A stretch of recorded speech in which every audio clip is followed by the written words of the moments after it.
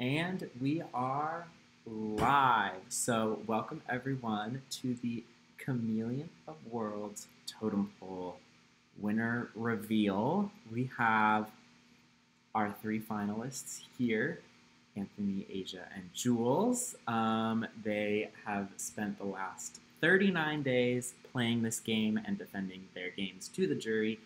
Um, they've all played incredibly strong games, and we are excited for one of them to become the second winner of this series. We also have several awards that we are going to be giving out to a wide variety of people everything from biggest hero to player of the season to biggest rivalry to play uh, chameleon. Um, that's all coming after the winner reveal so we are not going to let keep these people in suspense for too much longer. Um, we are going to just get right to the winner reveal. So how it works in the totem pole is i will reveal the vote count and then i will reveal the winner and then i will reveal who voted for who so let me get to the voting chart real quick. All right, here's the moment. Um, good luck to all three of you. All three of you deserve this. All three of you have played great games. So, by a vote of five to three to one, congratulations. Anthony, you are the winner of Chameleon of Worlds, the Totem Pole. Anthony, you got votes from Dom, Laney, William, Lynn, Kaylee. Asia, you got votes from Wyatt, Megan, and Cindy. And Jules, you got a vote from Adam. So, congratulations to all three of you.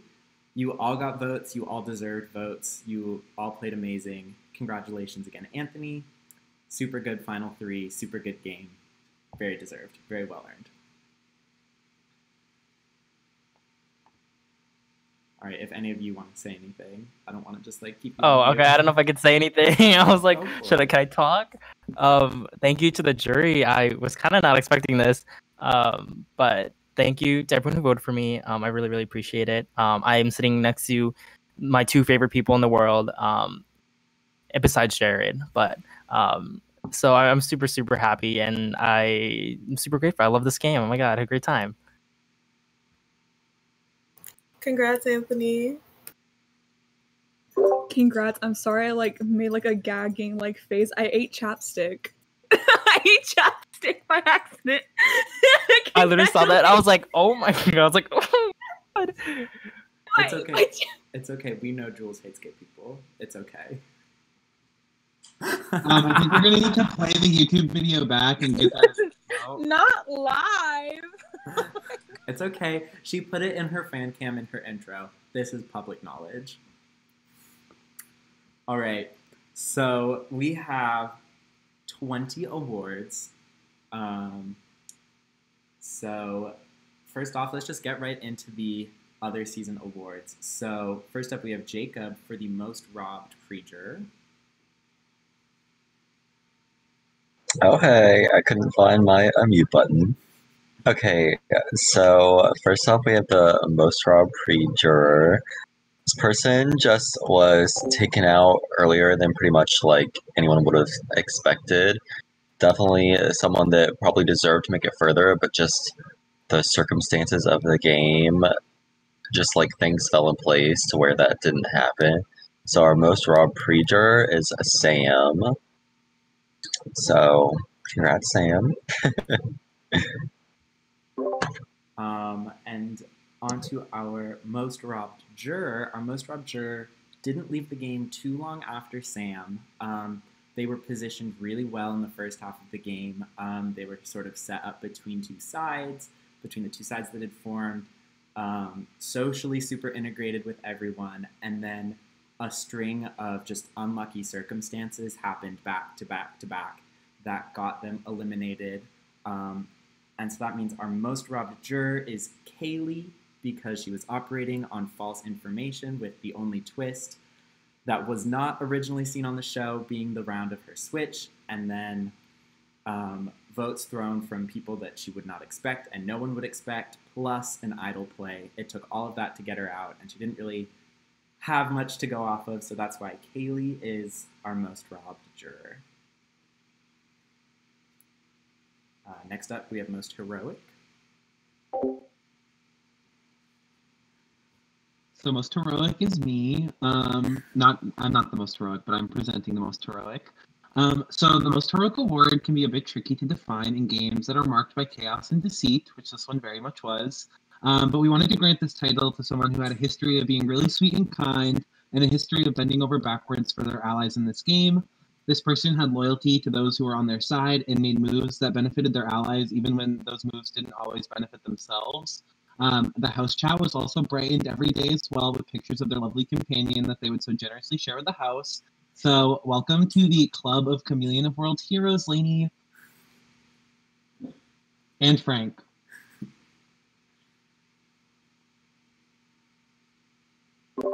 And biggest villain? Okay, excuse me for my printer in the background. I am a student. Um, and I actually wrote something out. So, the title of villain. Oh, wait, I didn't write this. Sorry. I'm pretty sure I read that and I was like, I would never say that. anyway. Sorry, professional. Okay. The title of villain can always be a little hard to define, but in this person's case, they definitely played like a villain this season. They had no problem flipping their loyalties toward the beginning of the season and lying about it. They spilled secrets in order to advance their own game, and overall played in a villainous way that was really exciting and, and interesting to watch. This person also had no problem making big, bold moves and calling people out when they heard their own name being talked about. One particular instance we remember is when this villain was on call with some other players. One person deafened, and our villain decided to take the opportunity to suggest they vote that person out. Brutal. Congratulations to our biggest villain of the season, William. From one villain to another, I support you. All right, next is most impactful juror.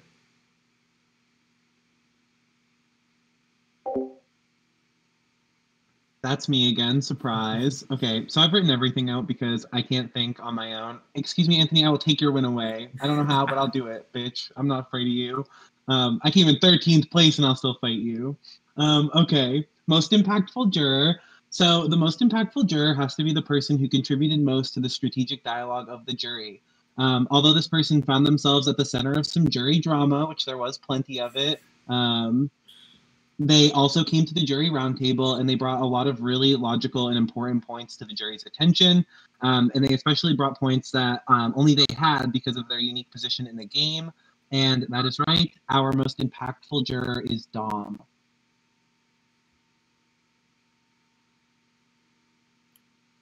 All right, speaking of jury drama, we have the biggest rivalry next.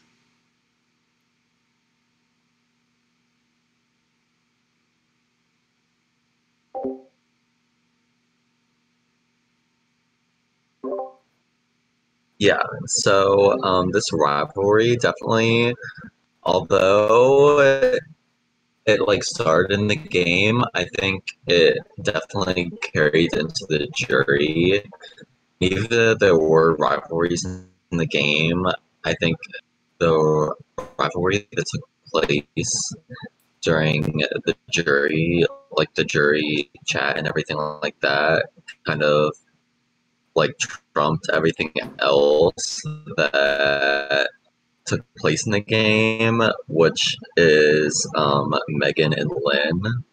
They definitely had like opposing thoughts in the jury and weren't afraid to uh, voice those thoughts to each other many times.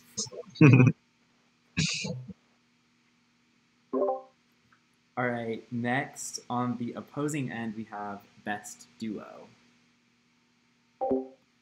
Surprise, it's me again. Um, so for best duo, um, we wanted to recognize a runner-up first because this was sort of a very close race. Um, so for our runners-up, we had Megan and Lainey, um, and they worked really closely together through almost the whole game. Um, and the thing that separated them from the pair that ended up getting this award is that Um, the duo that ended up winning, they really worked together throughout the whole game, and they were very close. And they made a lot of really pivotal moves together. Um, their loyalty never wavered, and not once in the game did they turn on each other, even though it may have made both of their lives a whole lot easier if they had sold each other out. Um, this duo's loyalty even went all the way to the end, as one of them on the jury voted for one of them as a finalist. So, congratulations to our best duo, Dom and Anthony. Even though I hate giving Anthony an award. All right. So next up is biggest betrayal, and um, so I'm really glad Jared brought up Lainey and Megan because I'm just gonna come right out and say it. And the biggest betrayal was when Lainey nominated Megan um, for the vote at the final seven. So Lainey betraying Megan. Um, they were a really tight duo throughout the first part of the game. Throughout most of the game, they were working together, vibing together. They were always like on call, having fun, just chilling out, strategically vibing. Um, and then Megan's top of the totem pole came and she um, flipped things up a little bit, but in her mind, it was not a strategic move directly against Lainey. It was just a move to better her game. She knew Lainey was going to be fine for the round. She knew everything was going to be okay. But then, a little bit later, Lainey directly targeted Megan, put her nominated against Jules. And even though Lainey voted to keep Megan in that vote, it's still the damage was done and there was no repairing that bond, especially as Megan left immediately. All right, next up we have the biggest goat.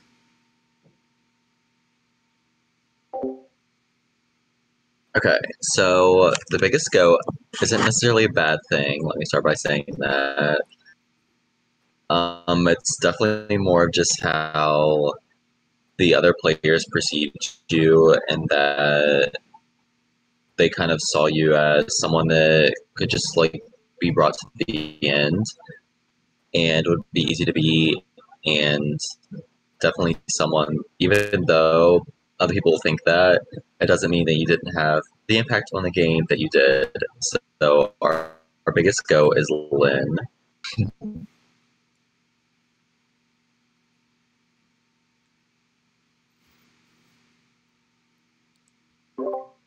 All right, next up we have the worst move. Um, so I talked about this a little bit earlier. First, I want to give a runner up to the worst move, and that is William as the switch is our runner up for worst move in week three. Um, he went from a totally fine position in the game to one move, putting uh, Jonah, switching Jonah and Anthony, and that completely tanked his game with half of the house he was, from that point on, always in the bottom, a bunch of people's targets. He had flipped to the bottom of a tight four person alliance.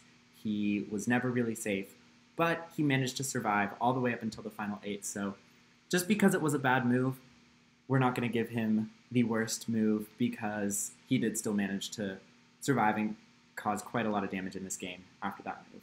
But our worst move of the game directly caused this person's elimination a few days later. So, as I was saying in the Lainey Betrays Megan, the worst move is Megan at her second top of the totem pole, um, trying to flip the script and putting all of her allies in the bottom five, as opposed to Dom and Anthony, who she had been working, actively working against the entire rest of the game. Um, she put Lainey she put Adam in the bottom five, both people who were working with her and working against Dom and Anthony, who were also working with her. It was a risk that she took, and if that risk had ta- had paid off, it would have been a great move. But it had it did not pay off as Lainey immediately, because of that, the next round put her up for one of the two people to be eliminated. So that is why we are giving the worst move to Megan's second top of the totem pole.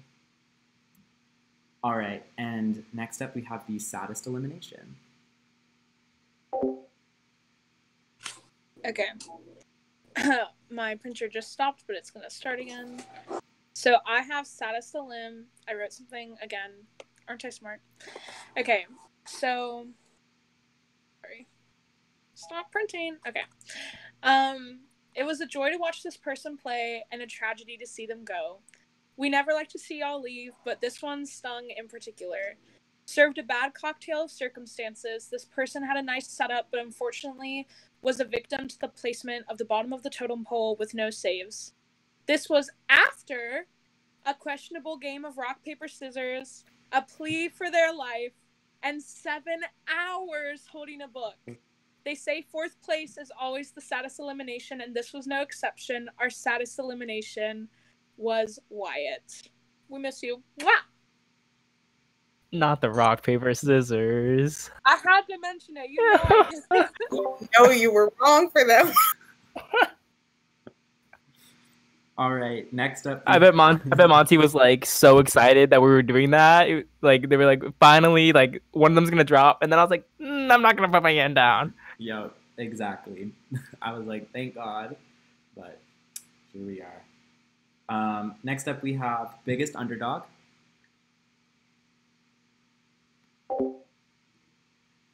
All right. So our biggest underdog, we had a kind of a hard time deciding on this one because it was this was a weird season. Like I don't know if y'all realized from being inside the season how fucking weird this shit was, but y'all did that. Um, this was a very weird season. So um, it was really challenging to give out, given that the people who kind of looked like they were on the bottom really sort of ran things from day one. Um, and so this person, who was our biggest underdog, was the visible leader of their alliance, and they found themselves in some controversy um, and they always pretty vocally opposed the minority. Um, and that minority, of course, was secretly somehow running things, um, which made them a pride target for the minority who really ran the game. Um, they were able to avoid a lot, a lot, a lot of things. Um, shots never really came their way, which uh, did or did not make sense. Um, and yeah, so our biggest underdog of the game is Wyatt. All right, next up, we have the host's fave.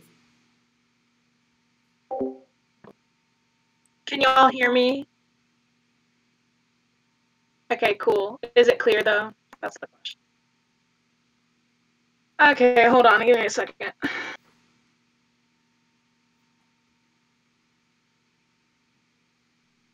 How about now? Yeah, that's better. Unfortunately. Okay, host fave. This one may be surprising to no one, but the reasoning is rock solid. There was only one person in this entire game who knew what the hosts were thinking without even asking. We would say something in our host chat, and this person would voice the same thought in their DR. It was a little uncanny, if you ask me. Additionally, they always did what we asked when we asked it, made several DRs, and was just a joy to host overall, and that is why our host favorite is Asia. Kisses.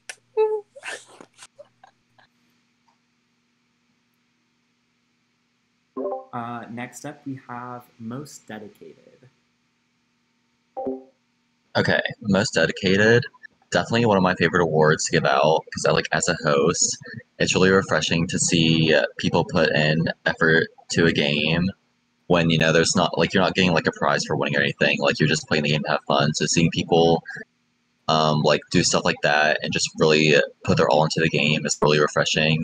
And in this game, this person was super active, not only in their DR but in the house chat, in the house calls, and even when they are voted out and in the jury chat. So that is why we're giving our host favorite award to Adam.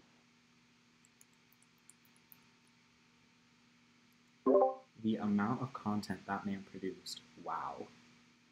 Um, Oh, Can I just say real quick that when he was trying to find that Switchback award, Asia, I need you to know how much effort went into saving you weeks before it even became a thing. That man Snapchatted me for 10 hours straight, being like, What does this mean? What does this mean? And I'd just be like, I don't know what the fuck you're talking about. Hours. Literally a whole Saturday from like 6 a.m. till like 10 p.m. He was like, What the fuck is this? And he was like, Switchback! It's Switchback! it and did. he It's finally because figured it at out. I one was so proud of him. at one point it was three hours of thinking it was Switch Bank, and Adam would not let it go. Adam would not let Switch Bank go. It was so funny. It did not help that I made the puzzle while I was a little drunk and things were a little out of place. So thank you, Adam. Um, and while we're on the topic of advantages. Everyone who wants to can at the roll two in their host chat to find the last advantage because at equals two, at two, at the roll that is just the number two. Some of you were so close, so, So close. It- all you had to do was at it. I was so- close. All you had to do was at it. I was so upset. All right. Um, I won't tell you what power that was because that would just add insult to injury. Anyways, next up we have most entertaining. Um, this was far and away an incredibly entertaining game. Everyone had unique personalities that they brought to the table for a super crazy dynamic. Things were popping off left and right. Like there was no stopping this game. All of that mostly happened during the jury though. And we when we sit back and we think, okay, everyone was pretty pretty entertaining during the jury. But what made the pre-jury entertaining? And there is one person who carried the pre-jury entertainment on their back. Single-handedly, their back is aching from carrying that pre-jury drama, chaos, intrigue, entertainment, everything. And that person sadly did not make the jury, but their impact is still here, and that is why we are giving most entertaining to Henry. It should be no surprise from anyone that he made great DRs. His top of the totem pole was exciting. It was fresh. He him calling out Sam was pure entertainment, pure chaos, pure drama, and we want nothing less from him. All right, so King of the 13th Place Club. Mhm. All right, so last up of our normal awards, we have most emotional. Here I am again, second season, presenting the most emotional, everybody's least favorite reward for the receiver. We do have a runner up, though, surprisingly. So, our runner up is someone you all might think is the winner. This person openly cried on call multiple times and put their heart into everything they did. We love them so much. Our runner up for most emotional player is Jules. we love you, Jules. But you didn't win most emotional. You were just the runner up. Okay. You're not getting So that here- two season in a row treatment. Mm-mm, not Yeah. here. yeah. So for the for the most emotional, we love this person so much and they were a joy to host. Playing with your emotions isn't a bad thing, but sometimes people wear their heart on their sleeve extra blatantly. We always knew what this person was feeling and doing, which was much appreciated for the narrative of the game overall.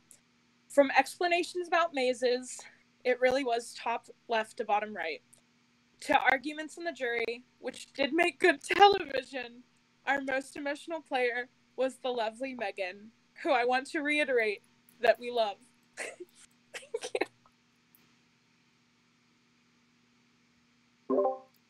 All right, so that is the end of our regular awards, but in Chameleon of Worlds, uh, we have the Big Five Awards, which is obviously the winner, um, and then the Quirky Award, the fan favorite, the Player of the Season, and the Chameleon. So we already know one of the Big Five Awards is Anthony um, for winning the game. So next, we will go to the Quirky TM Award, also Pippa. Hey y'all! I wrote that out too. If y'all don't think this person is quirky as hell, you're wrong. They were one of the most engaging people in this game, even though they met a premature end. They gave all the tea and more, and they absolutely ate up every opinion they had on the people left. Their pre jury DR was probably the one that popped off the most. Out of everybody, they probably had the most messages. And overall, they're just a quirky sister, and that is why our quirky award is going to Jonah. Yes, accuracy, we love it. All right, next up we have fan favorite. Okay, so I'm gonna say the, like the whole top three for fan favorite because it's so exciting. So we have a tie for third actually for the fan favorite, which was a tie between Jules and Ben. So Ben did make the top three. Congratulations, Ben. We love you so much. Um, and then in second place for fan favorite was Asia, which means the only person left is, of course, the winner of the fan favorite award, which was Jonah. So congratulations, Jonah, on being the fan favorite.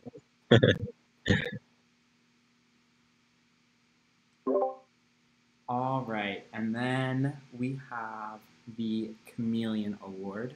So the Chameleon Award is an award that is given out for someone who does things that are really only possible within the format that they have. So this is totem pole. So this is things like using the switch, um, defenders, tops of the totem poles. So we're really going to be looking at switches for this one because there's one person who actively made many, many conscious choices around the switch, based their whole game around the switch, um, and really at the end understood that switch is everything once the saves are gone. And y'all used up your saves real early. So this person knew from that moment that switch is everything. So they threatened people with the switch. Switch yourself out or you're going home.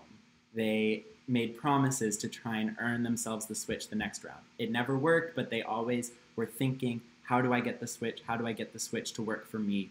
What happens with the switch? And the switch is something that only happens in the totem pole. So that is why we are giving the Chameleon Award to Asia for her constant thoughts about the switch, how to use the switch, how to maximize the switch, what to do with the switch, and just really focusing on that in the second half of the game, which got her all the way to the finale. So, congratulations, Asia. And last but not least, we have the player of the season. All right. So I want to start by saying that I am not qualified to give out the Player of the Season award because I ain't never been on that Player of the Season shit. Um, but what I will say I'm qualified for is hyping up this person's game because it was one of my favorite games that I've ever seen, and I think that they played um, just incredibly, and it blew my mind once I saw like what they were accomplishing. I was like, wow, they did that. Um, so this game was really rich with strategy. Um, and I think I'm going to speak for all of us as hosts, and I want to say thank you guys for all committing to the game like you did, because I think it made for a really incredible and dynamic season. Um, that being said, um, we really felt like this person played almost a perfect game. Um, they had an incredible amount of social and strategic clout, um, and they had information coming to them from like every side of the house, just about at any given moment in the game. Um, and they got their way every single vote. what's fascinating about this is that while they literally ran the game, um, they also somehow had the story of an underdog. Um, they were actively on the bottom for the whole game, and yet every single decision went exactly the way that they wanted it to. Um, so if they were one round away from making it to the end, um, this person would have gotten to the end, have having like basically voted correctly every round, um, and had this huge underdog story. And they they basically ran the game in an incredible um, story. Like I don't know, they just had everything. They had s- social game, strategic game. Um, they had story, they had everything you could ask for. Um, so I'm going to say thank you, Dom, for being our player of the season. Um, and like I said, I'm a huge fan of your game. I think it was incredible to watch because, bitch, you made it work. You made it work. So congratulations, Dom. Yeah, so that is all of our awards. Congratulations to everyone who won an award. Uh, thank you to everyone else who played the season. Um, it's been season one was cute. Season one was cute, but this totem pole, sorry, season one totem pole, you blew, the, blew them out of the water. This was an absolutely amazing game to host. It was so fun to watch. Um, strong story, start, beginning, middle, and end. It was the complete package for a game. So I want to thank you guys all for making it so dynamic, so fun, so interesting, and so competitive all the way up until the very, very, very, very end. So, even though totem pole is done and we have a winner. We have a third season starting soon. So you guys have gotten a few little teasers. Um, I want to hear from the finalists before we reveal officially what the theme is, what their predictions are for the format. So, so, so I guess the Masked Singer. I think he's right. Um, but on the off chance he isn't. Um, I don't know, Jules. Do you know what it is? You you think that out? Survivor. Ah, Survivor. What is a Survivor? So, Jules is right. We are How doing did you Survivor. know that? Yeah, how did you guys know that? Um, How did you guys know? yeah, so we are doing Survivor. Uh, Asia told me. and some trivia that we learned while coming up with that little promo is that the Destiny's Child song Survivor was actually inspired by the TV show. Um, and not just a coincidence. So, fun little trivia for that right there. So, everyone who has not played Chameleon of Worlds, um, please consider applying. We're planning on having a really good time. We've had two great seasons. We are planning on having a third great season. So, if you guys want to get in on that, apply now. Um, apps will be open in just a moment once I finally, once I'm actually upload the application to Discord. But thank you again, all uh, Totem Pole players, Totem Pole viewers, everyone who's put any little bit of effort into this season, either from the VL or from in the game. It was a great season. We have a great winner. We have a great final three. We have a great jury. We have a great cast. We had a great season. Overall, it was amazing. So thank you all for making this such a great season. Um, a top tier season as someone who's hosted many, many, many, many, many, many, many, many games. This was a top tier one. So thank you all. Hope to see you next season, and congratulations again.